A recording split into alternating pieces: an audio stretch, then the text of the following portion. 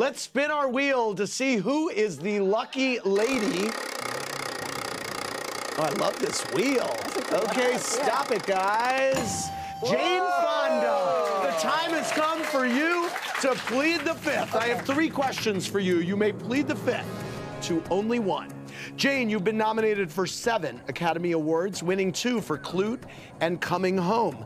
Out of your five other nominations, which do you feel you were the most deserving of winning? it was They Shoot Horses, Julia China Syndrome, On Golden Pond, The Morning After.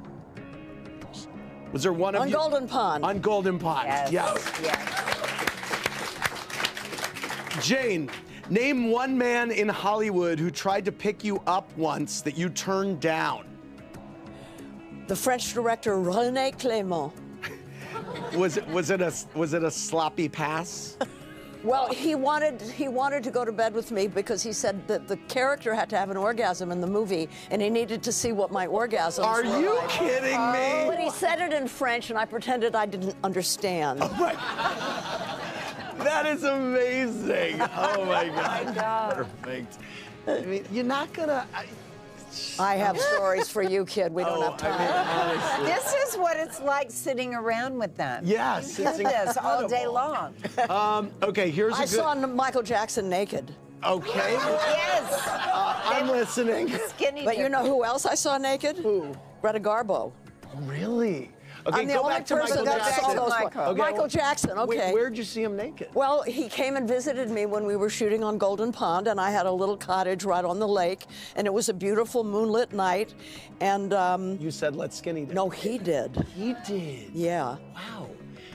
I think because he knew that he was going to die young and that I would talk about him. Being naked. Wow. Um, last question. He was This- skinny. He was skinny. Yeah. Okay. I'm not. I'm not going to ask anything else about it because I want to be respectful of, of, of Michael.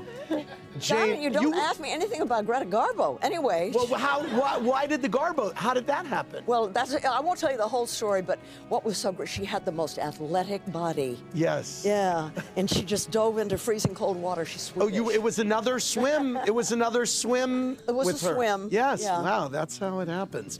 Uh, Jane, after going back to the plead the fifth game, uh, after your decades working in the entertainment industry, who do you think is the biggest misogynist in Hollywood? Oh my You God. plead the fifth. And you You can. should if you- answer the I played two. the fifth. Yeah. Okay. Thank you very